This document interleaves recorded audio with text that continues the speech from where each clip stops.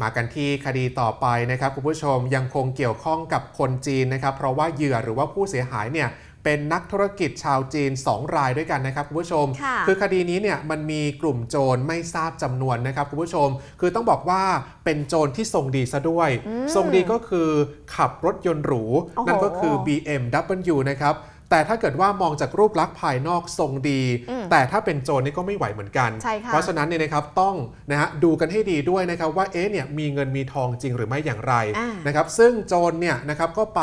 เช่ารถมอเตอร์ไซค์เพื่อที่จะตระเวนก่อเหตุนะครับด้วยการไปทุบกระจกรถของชาวบ้านเขาค่ะแล้วก็กวาดเอาทรัพย์สินที่อยู่ภายในรถนะครับ อย่างเคสนี้เนี่ย ก็กวาดทรัพย์สินนับล้านบาทนะครับ มีทั้งเงินสด เงินสกุลต่างประเทศ มีเครื่องเพชร มีพระเครื่อง แล้วก็นาฬิกาหลายรายการเลยทีเดียวครับ ขณะที่เจ้าหน้าที่ตำรวจพัทยาจังหวัดชนบุรี ได้มีการเช็คกล้องวงจรปิดแกะรอย ตามเจอที่โรงแรม แล้วก็มีการเตรียมจัดปาร์ตี้กันด้วยครับจากกรณีคนร้ายไม่ทราบจำนวนนะครับ ใช้อิฐตัวหนอน ทุบกระจกรถตู้ เป็นรถตู้ยี่ห้อโฟกสวาเกนนะครับ สีน้ำตาล ทะเบียนกรุงเทพมหานคร แล้วก็หลบหนีไป พร้อมกับทรัพย์สินเป็นกระเป๋าสะพาย แบรนด์เนม 2 ใบ ภายในเนี่ยก็มีเงินสดทั้งสกุลไทย และเงินสกุลต่างประเทศนะครับ รวมถึงเอกสารต่างๆ มูลค่ารวมกว่า 1 ล้านบาทค่ะของนักธุรกิจชาวจีน 2 คน ขณะที่เขาจอดรถ แวะเข้าไปรับประทานอาหารที่ศูนย์การค้าแห่งหนึ่ง ย่านเทพประสิทธิ์พัทยาใต้ จังหวัดชนบุรี ช่วงเย็นวันที่ 13 กันยายนที่ผ่านมาเนี่ยฮะรถตู้คันนี้โฟกสวาเกนใช่ค่ะหมายเลขทะเบียน ป้ายทะเบียนชัดเจนนะครับ เป็นอืมป้ายทะเบียนกรุงเทพมหานครด้วย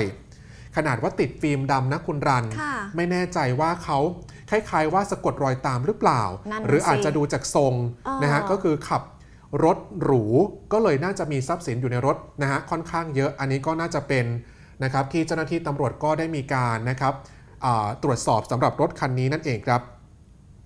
ล่าสุดพลตำรวจตรีอิทธิพลโพทอง รองผู้บัญชาการตำรวจภูธรภาค 2 ท่านได้สั่งการเร่งด่วนนะครับ ไปถึงพันตำรวจเอกธนพงษ์โพธิ ผู้กำกับการสพเมืองพัทยานำทีมชุดสืบสวน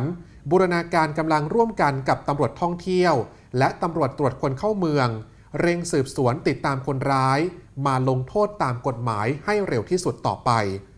จากการตรวจสอบภาพกล้องวงจรปิด เพราะว่าคนร้ายเนี่ยเป็นชายไทย ทราบชื่อต่อมาก็คือนายก้องภพอายุ 42 ปีเนี่ยฮะเป็นมอเตอร์ไซค์ที่เขาไปเช่า แล้วก็ขับตระเวนก่อเหตุนะครับ สวมหมวกแก๊ปสีดำแว่นตาสีดำแล้วก็แจ็คเก็ตสีดค่ะำนุ่งกางเกงยีนขายาว รองเท้าผ้าใบ แล้วก็ขี่รถมอเตอร์ไซคันนี้ครับ Honda Scoopy สีฟ้า หลบหนีไปทางถนนเทพประสิทธิ์ มุ่งหน้าไปยังถนนจอมเทียนสาย 2 ก่อนที่จะเลี้ยวกลับรถยูเทิร์นบริเวณชัยพฤกษ์จอมเทียนสาย 2 นะครับ ในระหว่างการหนีคนร้ายใช้โทรศัพท์มือถืออมพูดคุยกับใครสักคนหนึ่ง ตลอดเส้นทางการหลบหนีเลยทีเดียวครับ กระทั่งชุดสืบสวนสภเมืองพัทยา ออกแกะรอยคนร้ายทราบว่าหลบหนีมาซุกซ่อนตัว อยู่ที่โรงแรมหรูชื่อดังแห่งหนึ่ง เหตุการณ์เมื่อสักครู่ก็เป็นโรงแรมที่รามคำแหง 81ค่ะอันนี้เป็นโรงแรมที่ไปเปิดกันนะครับ เปิดห้องอยู่ที่พัทยานี่นะครับคุณผู้ชมเพราะว่าเตรียมจัดปาร์ตี้นะครับ คือเจ้าหน้าที่ก็ไปนะฮะแกะรอยแล้วก็ตามไปเจอตัวในเมืองพัทยาตำรวจเนี่ยได้มีการกระจายกำลังแฝงตัว ดักซุ่ม จากนั้นไม่นานคนร้าย ซึ่งมีลักษณะแต่งตัวดี ปรากฏตัวอยู่บริเวณลานจอดรถของโรงแรม โดยกำลังพูดคุยกับ หญิงชาวไทยตำรวจก็เลยแสดงตัวเข้าจับกลุ่มทันทีนี่นะครับ ตรวจค้นภายในรถเก๋ง BMW นะฮะอย่างที่บอกกันไปก็คือว่าโจรเนี่ยทรงดีอืมแต่งตัวดูดีนะฮะก็คือเหมือนแบบเป็นคนรวยประมาณนั้นเลยนะครับแล้วก็เจ้าหน้าที่ตำรวจก็ได้มีการตรวจค้นรถ BMW คันนี้ ก็ไปพบเงินสกุลต่างประเทศจำนวนมาก และก็ของกลางของผู้เสียหายที่เป็นนักธุรกิจชาวจีน 2 รายนี่นะครับ ซุกซ่อนอยู่บริเวณท้ายกระโปรงรถตำรวจก็เลยตรวจยึดเอาไว้เป็นหลักฐานนั่นเองครับ เบื้องต้นคนร้ายให้การอ้างว่ามาเช่าโรงแรมย่านจอมเทียน แล้วก็ไปเช่ารถมอเตอร์ไซค์ขี่ตระเวนก่อเหตุ กลับเข้าโรงแรม เตรียมจัดปาร์ตี้กับกลุ่มเพื่อนนะครับ แต่ว่าสุดท้ายไม่รอด ถูกตำรวจตามจับกลุ่มตำรวจจึงควบคุมตัวส่งพนักงานสอบสวนดำเนินคดีตามกฎหมายต่อไปนั่นเองครับ แหมได้ทรัพย์สินมา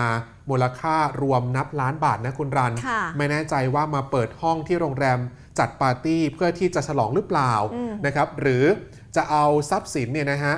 นะฮะมาแบ่งกันอืมนี่นะครับก็ถือว่าเป็นภัยสังคมที่ต้องระมัดระวังตัวกันเอาไว้ด้วยนั่นเองครับ